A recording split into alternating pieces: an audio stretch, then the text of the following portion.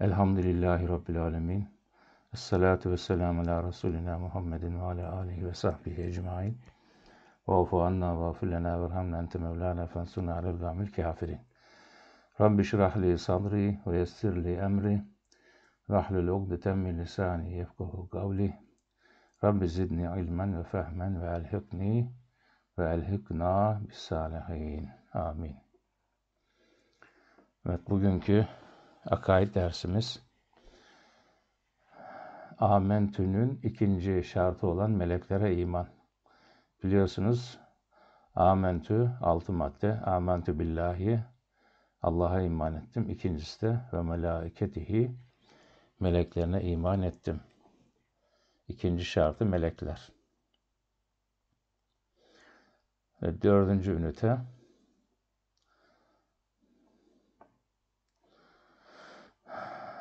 Burada bir takım sorular var. Bunları serbest araştırabilirsiniz.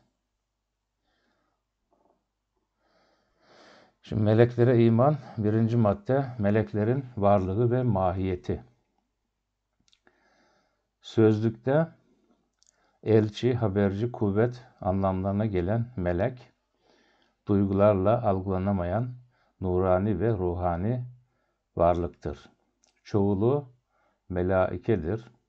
Dini hükümler peygamberlere melek arayıcılığıyla e, gönderilmiştir. Bu sebeple meleklere iman Allah'a imandan sonra ikinci sırada gelir. Melekleri inkar eden kimse dolaylı olarak vahyi, peygambere, peygambere indirilen kitabı ve tebliğ ettiği dini de inkar etmiş olur. Kur'an'da birçok yerde meleklere iman, iman esasları arasında yer almaktadır. Bu Bakara suresinin e, son iki ayeti var. Yatsı namazlarından sonra okunur. Hatta teheccüde kalkamayan kişiler için küçük teheccüd mahiyetindedir sevabı. Estağfirullah. Amene Resulü Amene iman etti. Amene iman etti. Kim? Er Resulü Resul olan peygamber iman etti. Neye iman etti? Bima unzile ileyhi kendisine indirilene yani Resul kendisine indirilen kitaba ahkama iman etti. Hak olarak kabul etti. Kimden indirilen? Min Rabbihi o Resulün Rabbinden. Daha kim iman etti? Ee, Resulün yaptığı gibi daha kim yaptı? Vel müminune müminler de aynı şekilde iman ettiler. Küllün bunların hepsi yani başta Resulullah olmak üzere e, müminler yani tamamı, küllün tamamı demek. Tamamı emene iman etti. Yani önce Resulün imanından ve Resul'e uyan müminlerin imanından bahsediyor ve bunların nasıl iman ettiğini ayeti kerime bize açıklıyor. Küllün amene billahi Bunlar hepsi önce Allah'a inandılar ve melaiketihi, meleklerine inandılar ve kütübihi, Allah'ın melekleri vasıtasıyla gönderdiği kitaplara inandılar ve Resulihi, Rasullere inandılar. Yani Allah'ın Rasullerine inandılar. Rasul e, kelimesi, Amener Rasul'deki Rasul, tekdir, müfrettir. Yani e, tektir, cemi değildir. Burada tabi peygamberimizden bahsediyor tek Resul olduğu için. Ama Resulün cemiği Rusul diye gelir veya Mursel diye, Murselin diye gelir. Yani onları Resulün, Rusulün, cemisi Rusulündür. Çok peygamberler demektir. Yani peygamber önce Allah'a iman ediyor. Müminler de aynı şekilde sonra Allah'tan gelen, melekler vasıtasıyla gelen e, kitaba ve o kitabın içinde bahsedilen Resullerin tamamına Resulullah ve tüm peygamber, tüm müminler iman ediyorlar. Yani burada bizim vurgulamamız gereken burada konumuz melekler olduğu için ve melaiketihi ve melaiketihi yani meleklere imandır. Melek de aynı şekilde tek kelimedir. Yani te, müfrettir. Tekildir. Meleğin çoğulu da melaiketir. O da cemidir. Yani çoğuldur. Çok melekler demek. Evet.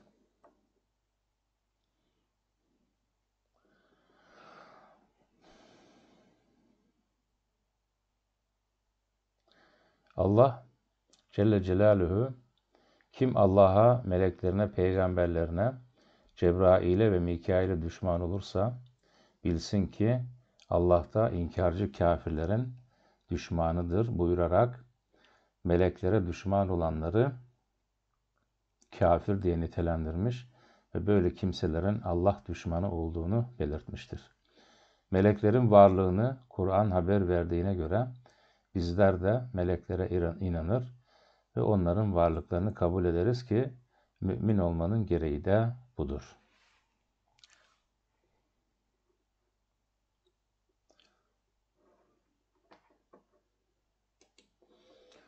Melekler gözle görülmez, duyu organları ile algılanamaz varlıklar oluşu inkar edilmeleri için bir gerekçe olamaz. Yani bizim e, bu üç boyutlu dünya hayatında beş tane duyu organımız var. Efendim e, bunların hepsi insanın kafa bölgesinde. Bir tanesi hariç. Mesela tatma duyusu, koklama duyusu, gözlerle görme, kulaklarla işitme, bir de elimizle tutma.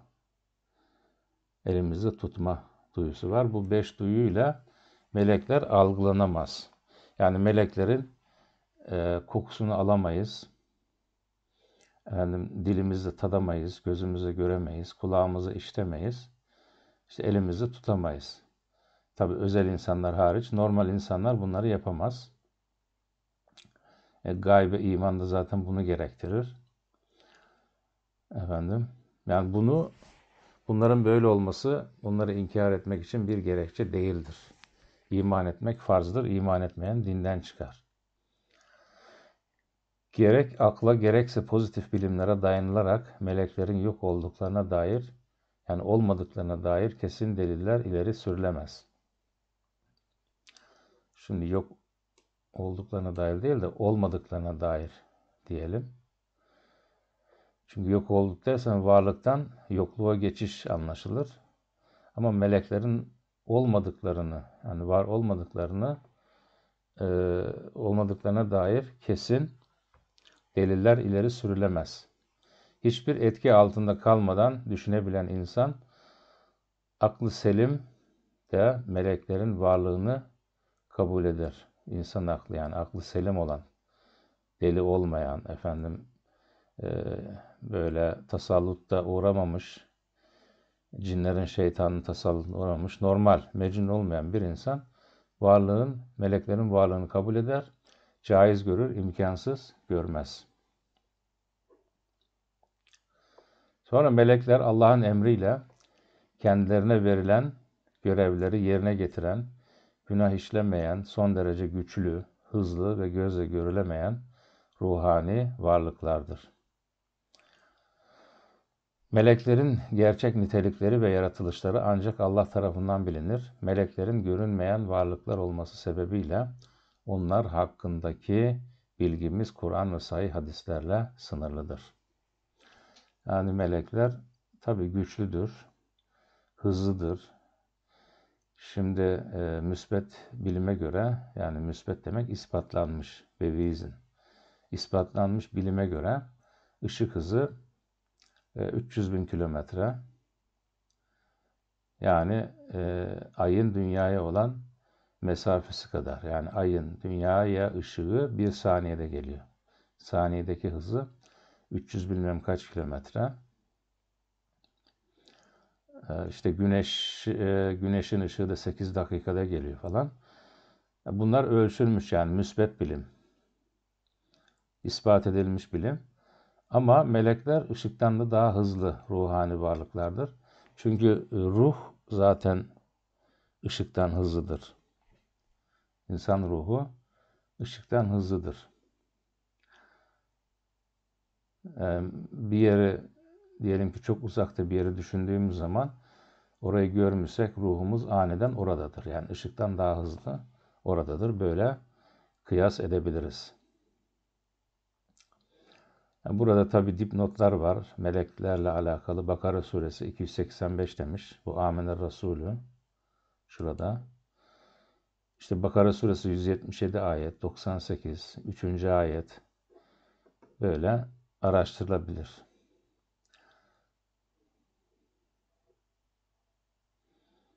İşte toplumda melekler hakkında yaygın olan görüşler nelerdir? Listeleyiniz. Mesela melekler hakkında olan en e, yaygın görüş, batıl görüş, meleklerin e, kanları, resimlerinin çizilmesi ve bunun onların kanatlı olduklarına dair kanatlı ve e, kız veya kadın şeklinde çizilmesi bu caiz değildir. Yani bu e, caiz değildir. Meleklerin cinsiyeti yoktur. Onlar insan suretine girdiği zaman kesinlikle bir e, efendim dikkat çekecek kadın suretine girmezler. Çünkü bu Allah'ın emrine zaten aykırı bir şeydir. Çünkü nefis, e, meleklerde e, nefis yoktur. Nefis insanda vardır. İnsanoğlunda e, melekten melek e, meleğe benzeyen yanı vardır. Ruh vardır melek gibi. Bir de hayvana benzeyen yanı vardır. O da nefsi emmaredir. Nefistir yani. Yeme, içme, e, çoğalma ihtiyacı, benim sevgi, ilgi ihtiyacı bunlar e, insanın özellikleridir. Meleklerde öyle sevgi, ilgi onlara ihtiyaç duymaz. Bunlar sadece e, kendilerine emredilen şeyleri yaparlar.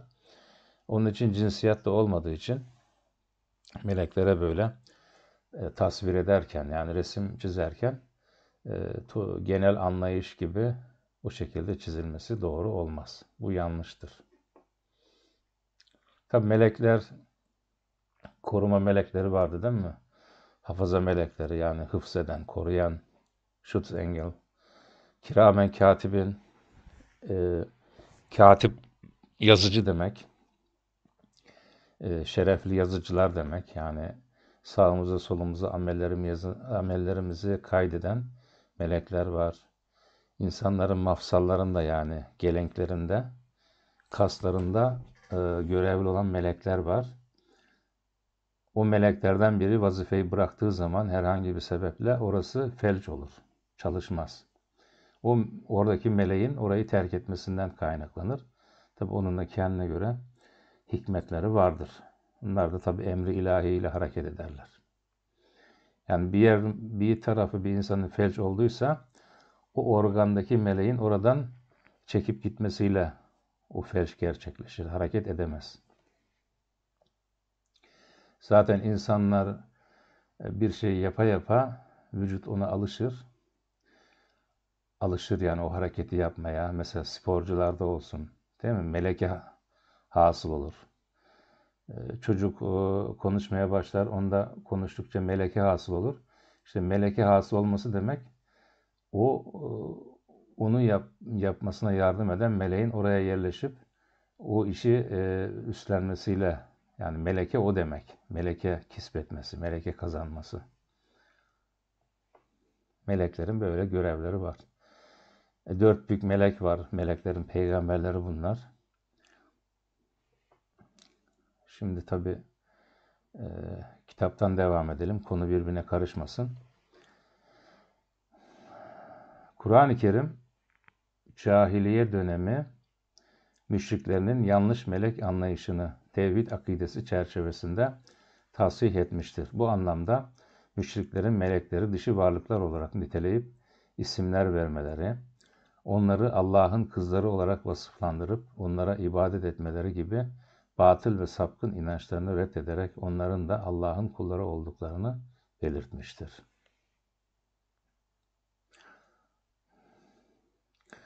Ayet-i kerimede Bismillah ve o müşrikler kıldılar.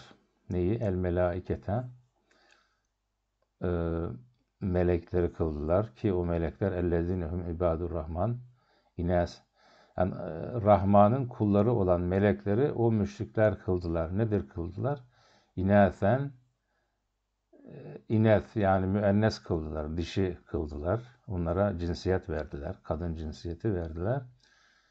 Eşehidu halkahum yani onlar o cinsiyeti veriyorlar ama onlar meleklerin diyor buyuruyor Cenab-ı Hak. Yaratılışlarını gördüler mi? Onlara şahit oldular da mı öyle? Melekleri kadınlar olarak vasıflandırıyorlar. Setüktebu şehadetuhum ve yus'alun. Onların bu ifadeleri, bu yalancı şahitlikleri diyelim, yalancı şahitler bilmeden konuşuyorlar. Bunlar yazılacak ve ileride bunlar hesaba çekilecektir buyurmaktadır.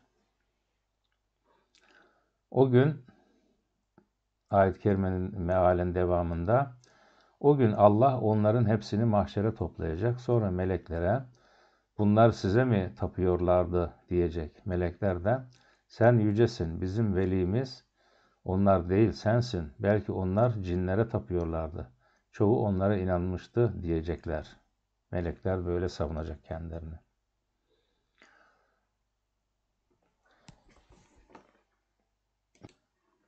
Evet.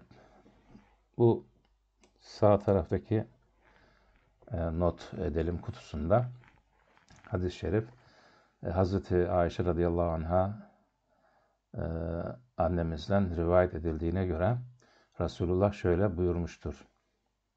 Melekler nurdan yaratılmıştır. Cinler alevli bir ateşten yaratılmıştır. Adem ise size anlatılan şeyden yani topraktan yaratılmıştır buyurmuşlardır. Kur'an-ı Kerim ve hadislerde meleklerin özellikleri hakkında verilen bazı bilgileri şöyle sıralandırabiliriz. Melekler insanlardan önce yaratılmışlardır. Önce melekler yaratılmış. 10. Ee, dipnotta zaten hangi ayette olduğunu e, kaydetmiş 10 numarada. Oradan bakılabilir. İkincisi melekler nurdan yaratılmışlardır. Yani bu da hadis hadis-i şerifle sabittir. Yani insanlardan önce yaratıldığı ayet-i kerimeyle sabittir. E, nurdan yaratıldıkları da hadis-i şerifle sabittir. E, melekler iradesiz varlıklardır. Yani iradesi olsa bile onların tek iradesi itaat etmektir. Onu efendim e, irade-i külliyeye itaat etmektir. Bir tek iradesi odur. Ama kendi başlarına seçim yapıp iş yapmazlar. Emredilenleri yaparlar. Allah'ın kendilerine emrettiği işleri eksiksiz, eksiksiz yaparlar. Asla günah işlemez ve Allah'a isyan etmezler. Allah'a itaat ve ibadetle meşgul olurlar. Bu da ayeten e, Zümer suresinde. Yani 12. numarada. Sonra gözle görülmezler. Erkek ve dişilikleri yoktur yemek yeme, uyuma, yorulma, gençlik, ihtiyarlık, evlenme ve çoğalma gibi insanlı hallerden uzaktırlar. Bu insanlı, insanlara mahsus hallerden uzak olmaları onlarda nefs olmadığı içindir. Yani hayvani nefis olmadığı içindir. Yemek yemek nefsin ihtiyacıdır. Uyumak aynı şekilde, yorulmak, gençlik, sonra yaşlanmak, evlenmek, çoğalmaya yani zürriyetini devam ettirme bu insanın nefsinden gelen e, hasletlerdir. İşte önümüzde de Ramazan-ı Şerif var. Nefsin terbiyesi de nedir? E, nefsin isteklerini kısmak. Yani Ramazan-ı Şerif gelince e, mazureti, mazereti olmayanların hastalık gibi bilmem buna benzer kronik hastalık gibi mazereti olmayanların oruç tutması farz-ı ayındır. O da işte nefsi terbiye içindir. Yani sadece yemek yemek değil. Nefis yemek yemediği zaman, mide boş olduğu zaman daha farklı farklı efendim şimdi modern tabirle manevi frekansları alabiliyor. O onun tekamülünde yardımcı oluyor. Yani konu burada sadece yemek yemek veya içmemek, yemek yemek e, yememek, içmek veya içmemek değil. Ayrıca zihnini de arındırmak ve manevi yayınları diyelim. Rahmetullah, manevi yayın. Ee, insanın böyle dünyaya dalmış olanların hissedemediği bazı şeyleri hissetmek. E, nefsi aç bırakıp mideyi boş bulundurarak bu şekilde gerçekleşir. İstifade bu şekilde olur. Ha, oruç tutarsın ha Allah ister açlık verir sana ister tokluk verir o onun bileceği iş. Ama ihtiyacı olanı verir Cenab-ı Hak.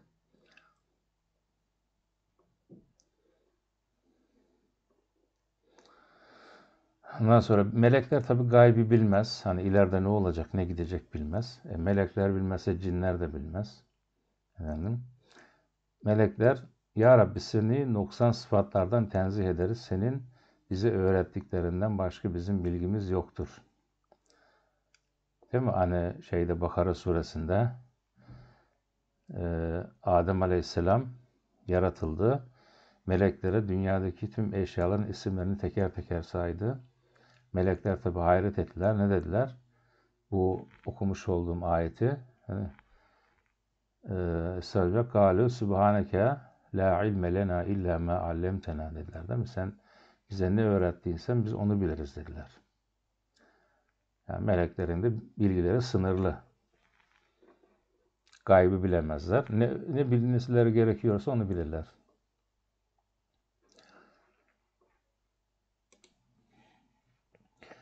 Melekler farklı suretlere bürünebilirler. Yani dünyevi şekillere girebilirler. Cebrail aleyhisselam Resulullah Efendimiz'e iki defa melek suretinde çoğunlukla da insan kılığında geldiği bilinmektedir. Yine aynı şekilde Hz. İbrahim'e meleklerin, Hz. Meryem'e ise Cebrail'in insan şeklinde geldiğini Kur'an'dan öğrenmekteyiz. Değil mi? Hz. Meryem ee, daha gençlik çağında sonra Cebrail aleyhisselam ona insan yani delikanlı kendi yaşıtı şeklinde görünüyor. O tabi ona fenalık yapacak diye korkuyor. Ama o ne diyor? O korkma diyor. Ben Allah'ın emriyle geldim. İşte ona ruh üflüyor. O şekilde yani Cebrail aleyhisselam burada anlatmak istediğim Cebrail aleyhisselam bir delikanlı şeklinde o şekilde geliyor. Aynı şekilde Hazreti İbrahim'e de e, geldiler melekler. Yani onlara yemek ikram etti buyurun dedi. Onlar da yemediler. Korktu tabi. Dediler biz e, Lut peygamberin kavmine gidiyoruz dediler. Bak oraya uğradılar. Görüyor musunuz nezaketi? E, İbrahim aleyhisselam Lut aleyhisselamdan tabi mevki olarak da yüksek ve aynı çağdalar, aynı zamanda peygamberler. Ama önce ne yapıyorlar? Hazreti İbrahim'e uğruyorlar, haber veriyorlar. Biz Lut'a gidiyoruz, şöyle şöyle olacak diyorlar. Bu da ayrıyeten güzel bir nezakettir. Yani Allah'ın bu şekilde bir hani bir organizasıdır tabir caizse. Tabir caizse. Yani hani mesela diyelim ki bir devlet başkanı bir ilçeye gelmek ister. Ne yapar? Önce vali valiyi yanına alır. İlçeye öyle gider. Yani öyle birbirlerini atlayıp gitmezler. Burada da bence güzel bir incelik var. Evet. Çünkü o zamanın büyük peygamberi İbrahim Aleyhisselam onun da haberi olması lazım. Bu şekilde konuları uzatabiliriz ama burada hani anlatılmak istenen meleklerin gençler olarak hem Hazreti İbrahim'e hem de e, Hz. Meryem'e görünmeleridir. Yani insan kılığına girdiği zaman tabi melek özelliğinden çıkıyor. Yani özelliği kalıyor fakat vücut olarak yani kanatları falan olmuyor o zaman. Normal insan gibi oluyor. öyle şekil değiştirebiliyorlar. Yani latif varlıklar yapabiliyor yani. Cinlilerde de bu özellik var, meleklerde de var. Efendim, e, Evliyaullah'ta da var. Hani büyük Evliyaullah. Mesela Hızır Aleyhisselam şekil değiştirebilip insanların karşılarına çıkabilir. Onları imtihan edebilir. Veya sıkıntılı anlarında yardımcı olabilir gibi gibi. Sonra birden çok kanatları olan melekler çok kısa zamanda uzak mesafelere gidebilirler. Bunu da söylemiştik. Işıktan daha hızlı. Efendim. Hani Cebrail aleyhisselam e, Resulullah Efendimiz Cebrail aleyhisselama sordu.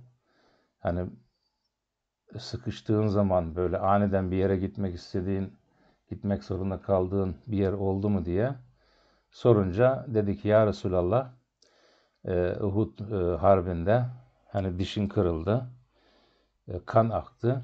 Hazreti Allah beni vazifelendirdi. Git Habibimin kanı yere düşmeden onu kurtar. Eğer onun kanı dedi yere düşerse dedi bu hani dünyayı dedi helak ederim. Ben de diyor aniden diyor arş-ı aladan ne yaptım diyor. Senin yanına geldim. Kanının düşmesini önledim diyor. Yani arş-ı ala efendim melek hızıyla oralar 50 bin yani Me'ariz suresinde de olduğu gibi 50 bin senelik yol melek hızıyla 50 bin senelik yol. Yani orada resmen e, rakamlar geçiyor Me'ariz suresinde. Okuyabilirsiniz. Yani o derece hızlı yani Cebrail aleyhisselam aniden ne yapıyor? Arş-ı Ala'dan Uhud muharebesine e, geliyor. Orada kurtarıyor. O kanın yere düşmesini kurtarıyor. Mani oluyor.